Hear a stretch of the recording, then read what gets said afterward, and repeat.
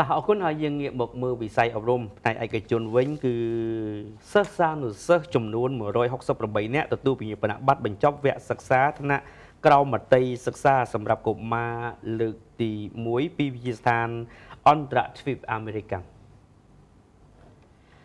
កាលពីពេលថ្មីថ្មីកន្លងមកនេះគឺវិទ្យាស្ថានអន្តរទ្វីបអាមេរិកបានប្រពៃពិធីចែកជាកេរាវិញ្ញាបនបត្របញ្ចប់វគ្គសិក្សាថ្នាក់ក្រមមត្តេយ្យសិក្សា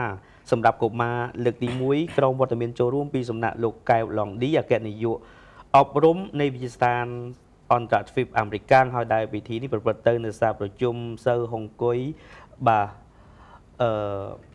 តាមបណ្ដោយផ្លូវម៉ាស៊ីតុងនៃវិទ្យាស្ថានអន្តរទ្វីបអាមេរិក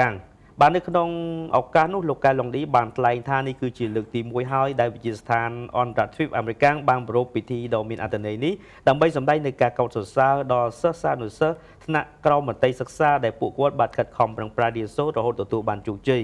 បាទលោកកែឡុងឌីបានបង្ហាញនៅទឹកចិត្តសប្បាយរីករាយ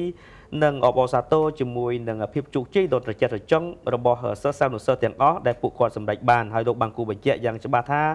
អ្នកទាំងអស់គ្នាដែលនឹងទទួលវិញ្ញាបនបត្រនៅថ្ងៃនេះគឺជាឆ្អឹងខ្នងដ៏រឹងមាំបំផុតសម្រាប់ក្រុមគ្រួសារនិងជាអនាគតរបស់សង្គមជាទាំងមូលជាពិសេសជាងនេះទៅទៀតលោកបានធ្វើការវិតម្លៃខ្ពស់ចំពោះការខិតខំប្រឹងប្រែងការចូលរួមទាំងកម្លាំងកាយចិត្តនិងការយកចិត្តទុកដាក់ពីសំណាក់អ្នកអាណាព្យាបាលទៅលើបុត្រធីតារបស់ពួកគេគ្រប់គ្រប់រូបលោកបានបន្តទៀតថាទាំងអ្នកអាណាព្យាបាលនិងគណៈគ្រប់គ្រងវិទ្យាស្ថានគឺមានមោទនភាពយ៉ាងខ្លាំងចំពោះភាពជោគជ័យដែលកូនកូននិងបងប្អូនទទួលបាននៅថ្ងៃនេះ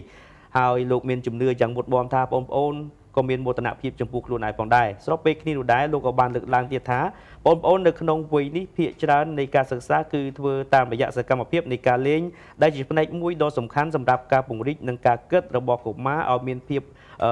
ទូលំទូលាយនិងជួយបង្កើនមិត្តភាពរវាងមិត្តរួមថ្នាក់របស់ពួកគេទន្ទឹមនឹងភាពជោគជ័យនេះលោកកែឡុងឌីបានធ្វើការក្រើនរំលឹកនិងផ្ដាំផ្ញើទៅដល់សិស្សានុសិស្សដែលជាជីលភីទាំងអស់ឲ្យបន្តខិតខំប្រឹងប្រែងរៀនសូត្រនិងធ្វើជាកូនល្អសិស្សល្អសម្រាប់គ្រួសារនិងសង្គមជាតិទាំងមូលហើយលោកក៏បាននិយាយទៅកាន់សិស្សានុសិស្សទាំងអស់ឲ្យចងចាំនៅសកម្មភាពបាទភាពរីករាយជាច្រើននៃការរៀនសូត្រទាំងនៅក្នុងថ្នាក់និងនៅក្រៅថ្នាក់បាទចុងបញ្ចប់លោកកែឡុងឌីបានអរគុណសាជាថ្មីចំពោះលោកគ្រូអ្នកគ្រូជាពិសេសអ្នកអាណាព្យាបាលសិស្សទាំងអស់ដែលបានចំណាយពេលមកមានញឹកមកចូលរួមនិងលើកទឹកចិត្តដល់កូនកូនរបស់ពួកគេ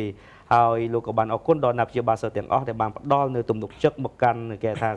វិទ្យាស្ថានអន្តរទ្វីបអាមេរិកនៅក្នុងការបណ្ដុះបណ្ដាលបុត្រធីតារបស់ពួកគេឲ្យមានចំណេះដឹងចំណេះធ្វើជំនាញពិតប្រាកដបាទសម្រាប់ចិញ្ចឹមជីវិតទៅថ្ងៃអនាគតបាទ